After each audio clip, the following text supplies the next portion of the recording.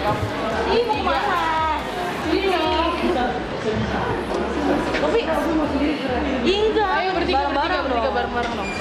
Ayo dong, ayo dong. Ayo, ayo, Ayo, sini dong.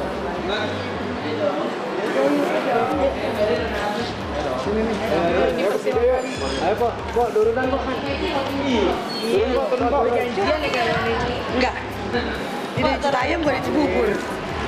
Pak, turun, Pak. Turunan kok. Maaf turun. Cakep gitu.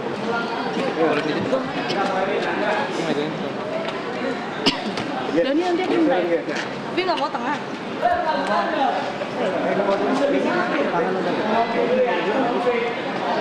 Mana?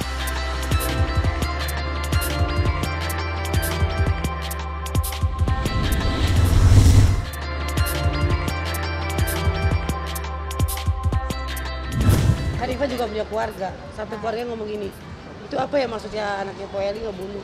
Itu Upi kata-kata begitu. Kalau orang dendam, orang ngaduin ke sampai orang yang maksudnya sampai orang yang kayak Irfan ini bukan Irfan aja digituin orang lain kita bisa kena kan karena udah men- menurut ancaman itu kan ancaman itu nggak boleh Vi jadi kalau ngomong ngebunuh itu nggak baik banget Kata dibilang pacaran gini-gini. Enggak, kita berteman doang. Emang kalau manfaatin manfaatin apa nih kak? Emang selama ini aku pernah minta apa ke kakak katanya? nggak pernah